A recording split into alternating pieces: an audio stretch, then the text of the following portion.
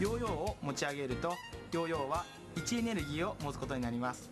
そして手からヨーヨーを離すと落下エネルギーと回転エネルギーに変わりヨーヨーが動きます。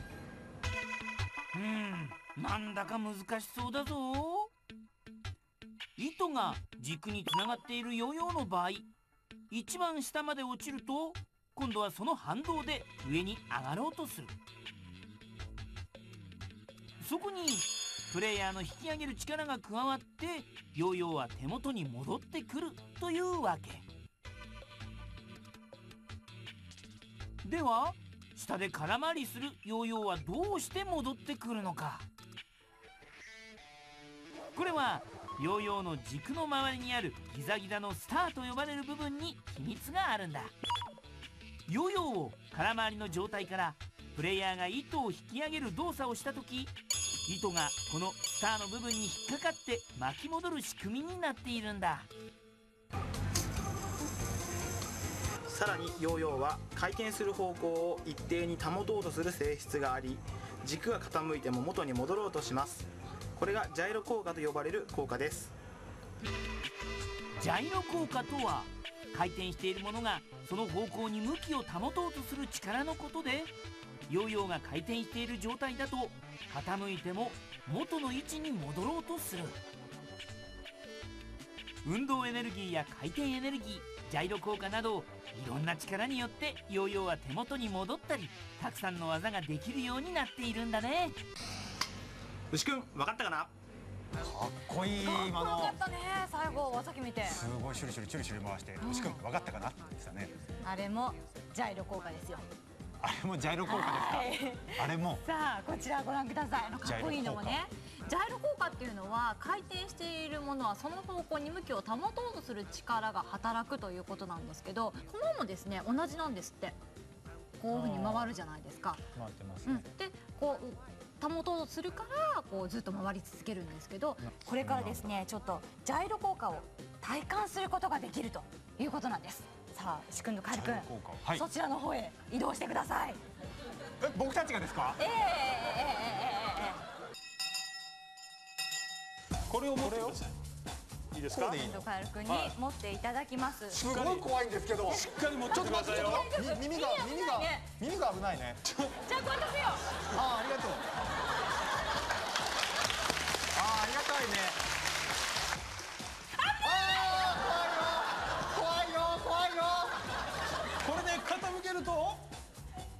かひっえ引っ張られるでしょ？多分オッズのおかげでよくわか でもなんとなくこうか抵抗あるでしょ？なんとなく抵抗あります。はい。それジャイロなんですよ。これがジャイロですか？あのお子さんの方が分かりやすいのかもしれないのでちょっと実際にジャイロ効果試してみたいっていうお子さんいらっしゃいますか？大丈夫？怖いよ結構。じゃあ回すよ回ってるね。それでちょっと傾けるとなんか あれ？あ逆に傾けたりしたらこううんなんかすごいでしょ？どうなる？すごい。なんかこうやって傾傾けると力がこっちに回ろうとしてそうそうそうそう。反対側に向くそうわけね。そうそうそう戻ろうとするのがジャイロ効果なんだ。こ本当はれがジャイロもっとあるとこの椅子までもがこう動くはずなんだよねはずだったとああなるほどね。あ結構来るでしょ？結構くきますがちょっと重いですね。重いよね。単純に単純に重いよね。単純に重たいよねこれね。だ大丈夫？確かに。お名前はじゃあ。海田ゆいかです。ゆいかちゃん。はいありがとうございました。皆さんありがとうございます。ありがとうね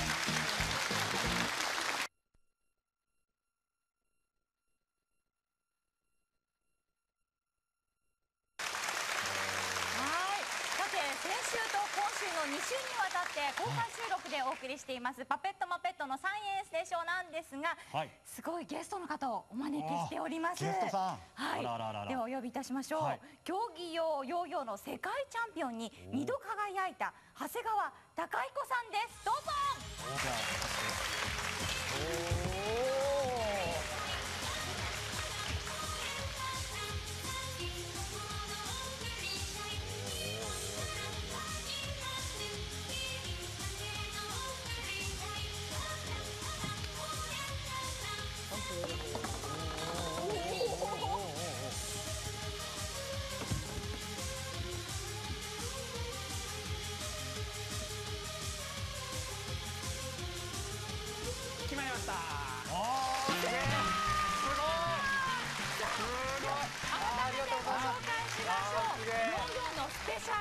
長谷川貴彦さんです。もう一度大きな拍手お願いします。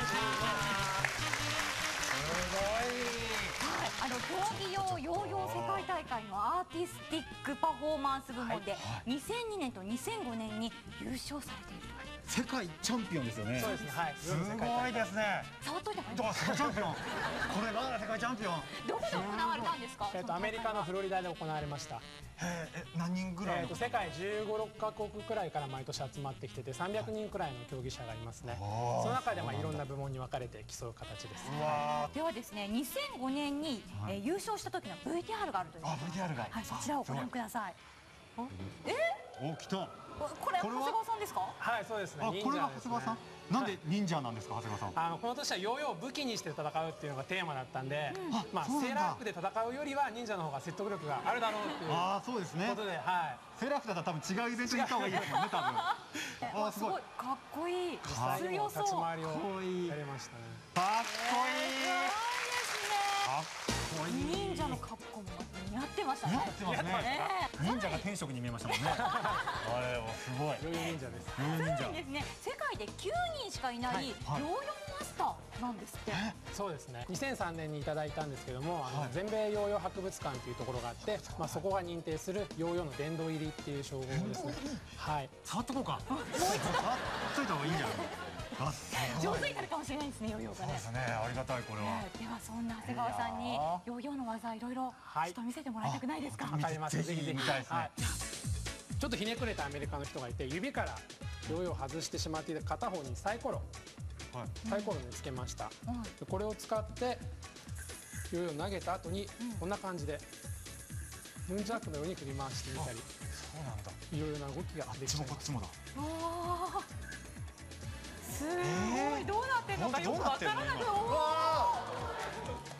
で今度はあのよくヨーヨーで遊んでると紐から切れて飛んでっちゃうってことが昔あったんですけどそれを今度技にしちゃったっていう技があります。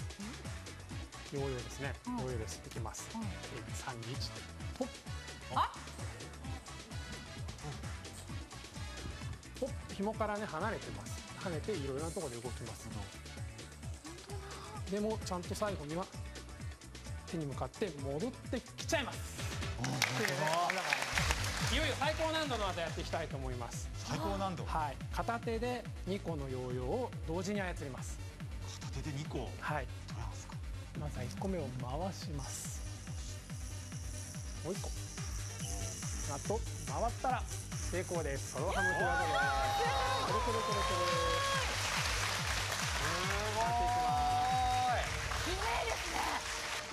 ヨーヨーってお持ちなんですか？ヨーヨーは最初100個くらいまでは数えてたんですけど1000個超えたあたりから分かんなくなって。そんなに？1000個超えたんですか？家中ヨーヨーだらけですね、はい。ヨーヨーだらけ。だらけですね。そんなすごいわ。1000個ぐらい1000個以上あるヨーヨーの中から、はい。一番高価なものはいっていうのは、今日とっておきを持ってきました。はい。とっておき。とっておきです。すごい。すいません。うちの夫がお金に汚くて。世界限定10個で作られていて一応い一般販売されなかったんですね、メーカーの人が関係者のみに販売したんですけど、こちらの方になります。これが？何が高い理由かっていうと、チタンの削り出しでできてます。で外側に金が 3g3g 入ってます。金が？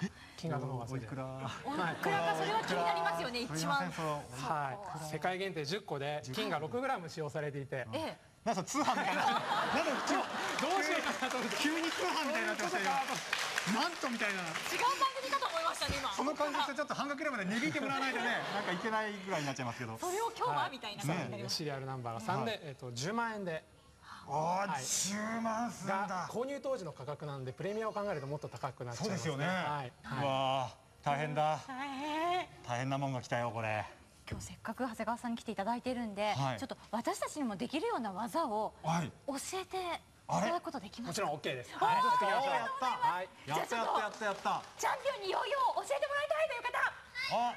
いらっしゃいますか？おいいね。元気いいよ。元気いいよ。はい。お名前をちょっと聞いて。はいお名前。を大山かおみです。かおみちゃん。はい。かみちゃん